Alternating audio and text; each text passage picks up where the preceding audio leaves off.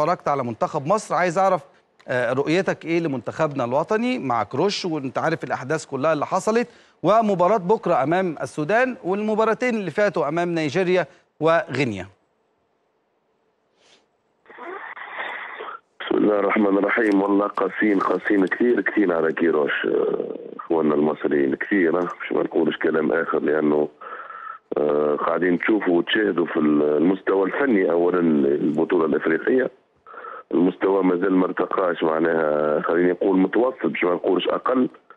شوفوا المنتخبات اللي نقولوا معناها قبل الدورة أنها مترشحة والنتائج نتاعها ونوعية اللعب اللي تقدم فيه خاصة أكثر من من النتائج اللي هي إلى حد الآن. شفنا نتائج اليوم شفنا نتائج امبارح شفنا نتائج المباريات الأولى والثانية يعني إلى حد الآن. ما فماش منتخب ارتقى إلى مستوى وهذا لعده عوامل عده عوامل اولا أرضية الملاعب، أرضية الملاعب ماهيش قاعدة تساعد كثير في المنتخبات اللي تحب تفرض لعبها آه، تفرض نوعية لعبها. عندها آه، مهارات فنية عالية تلعب بالوان تاتش بالتو تاتش تحب تتسلسل بالكره من المناطق الخلفية.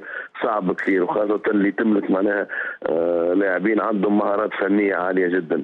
حاجة ثانية اللي المنتخبات اللي بين قوسين اللي كنا نقول عليهم معناها ضعيفة في إفريقيا ونفوزوا عليهم بالثلاثة والأربعة ونمروا إحنا كمنتخبات قوية يعني خاصة منتخبات جمال إفريقيا المستوى بدأ يتقارب لبعضه بدأ يتقارب لبعض يعني المنتخبات هذه اللي بين قوسين صغيرة اصبح عندها لاعبين محترفين ولو ما يحترم ما يلعبوش في منتخبات كبيرة في أوروبا لكن آه، محترمين لاعبين آه، نسق المباريات عندهم مش مثل قبل الدوريات نتاعهم نوعا ما نوعا ما خليني نقول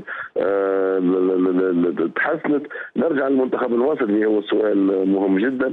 أنا نشوف أنه عادي عادي جدا النتائج. ممكن فما شوية شيء للنمو شوية على مدرب المنتخب كيروش أنه تغيير شوية في مراكز بعض اللاعبين ما ننساوش أنه ما عندوش فترة كبيرة مع المنتخب.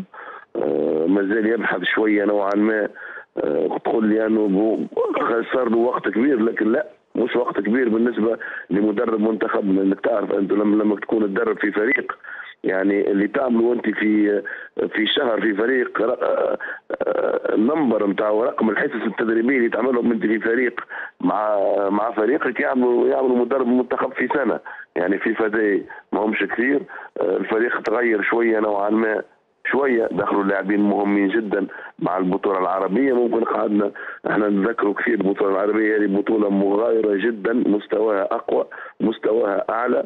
وخاصة الملاعب مش هي نفسها. لكن أظن أنه آه، لما تشوف مقومات المنتخب المصري المنتخب المصري أنا حسب رأيي الشخصي بيمشي بعيد في الدورة هذه. فرجاني ساسي تأثر آه، بعد رحيله من نادي الزمالك؟ مستواه يعني؟ تاثر فنيا طبعا مش يتأثر فنيا لأنه مش نفس مستوى الدوري المصري مستوى الدوري القطري. الدوري القطري فما زوز ثلاث فرق معناها ممكن آه، ماكسيموم في في في مستوى عالي بالمحترفين بتاعهم.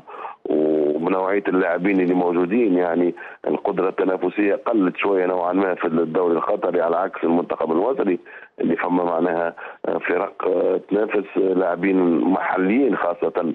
على مستوى عالي جدا على عكس الدوري القطري بدون أدنى شك. ثم الدوري الجماهيري عنده عنده قيمة كبيرة. تعرف لما تكون تلعب آه، جماهير كبيرة وجماهير عريضة مش نفس الشيء لما تكون معناه إلا في بعض المباريات القليلة عند الجماهير في الملاعب بدون أدنى شك أنه تأثر فنيا بمستواه.